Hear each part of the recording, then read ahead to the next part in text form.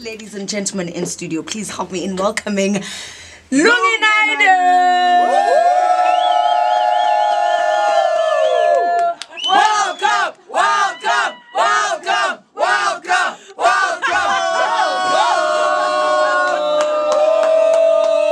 Would like to welcome you with a, uh, would like to welcome you with a, a Kotze ginger drink. Here you go. Thank you very, very much. just for Uh, you. Stunning. That's healthy ginger. for you, by the way. You can find it at some pharmacies around the northern suburbs. You can follow the Facebook page, Kotze Ginger Drink.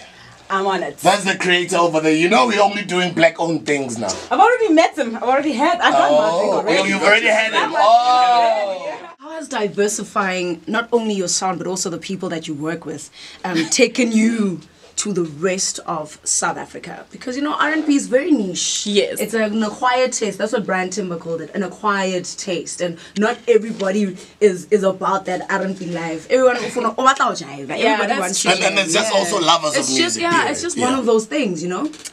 Um, working with, I worked with um, Kalawa Jazmee, I worked with Mondli Ngcobo, and I worked with uh, DJ Black Coffee.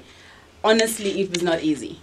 With Black Coffee, it was okay because I'd already worked with him on his album. But working with Umondli Ngcobo for the first time, Nomondli took me. Like, he literally said, I want you to just mute her. Yeah, yeah. 'Cause you are yeah. so used and, to And her. Is a musician. Yes. People don't know that Mondli is like a.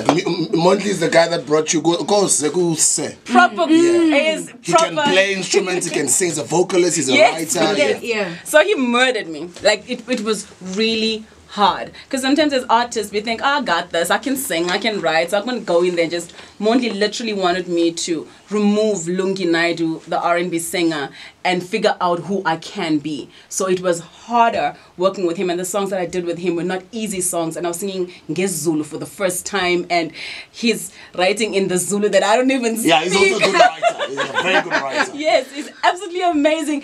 And that's what I loved about this is the best part of this journey. I got to grow as a songwriter. I got to enter into a space where I wasn't the shit. I wasn't, you know, Yeah, I, I, it's a new space, it's open, and there's somebody who is better than me in, in mm. the writing skills, in the singing skills. Like Sbu is saying, he's a brilliant artist and a singer and a vocalist, and I was like intimidated. The one time I cried in studio. In studio, yeah, because it drives He you. There's, broke me, There's people that literally. work like that. That will work you until you, you cry. But they want to bring out the best out Yeah. of you. Yeah. What What did you learn in that process about yourself? What's the one characteristic that you're like, yeah, now I got this down pat? there's still so much more of me that I haven't even tapped into. Yeah. So much more. There's so much more, yeah. yeah. I- I was saying, Ofe, I love that you work with um, guys that want to get the best out of you. That you work with people that are not gonna allow you to be complacent. You Yeah, know, no. because they they really are shining this diamond that sits in front of us right now. Aguna Diva is studio.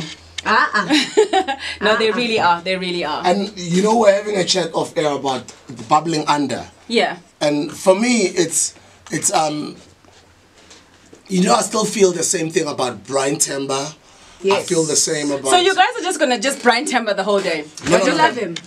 We love you. there's- No, because i think that's the first thing that came up since you mentioned brian and and um, there's a lot of artists i made an example about Uquesta. even with Zakes Bantwini, Zakes Bantwini only just happened now, like what, in 2014, 2013? Clap your hands. But he had been around. Yeah, be, he had been around.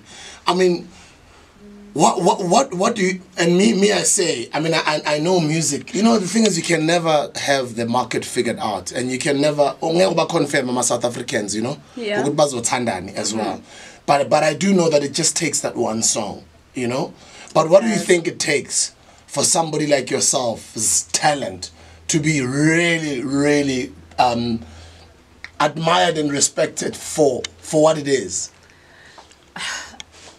Yo, Sbo, it's been such a long journey. And you, it's not like you're not putting in work. You are putting in that, work. that's what that's what sometimes makes me as an as a singer feel like maybe I'm not talented. Maybe you I'm are, by the way, you are. That's why get it out of the way. You know that you are. Yeah. But sometimes you question everything about yourself because nothing that you put out is catching on fire. Nothing that you put out is catching on fire. And yet you're thinking, everything is perfect. The production is on par. Everything is, is on par. What am I not doing right? So on days like those, honestly, I have to come back to I love music. this is who I am, this is what I love doing, um, something's gonna give. But I'm just I'm not gonna give up up until something gives. Maybe it takes not looking for a hit, just keep on making the music and working and enjoying the journey. It's been a And long then it'll journey. happen on its own. It- I know it's been long, it's been a while, yeah. But I love the bubbling under thing. That word I'm gonna leave with today. But isn't it gatekeeping though?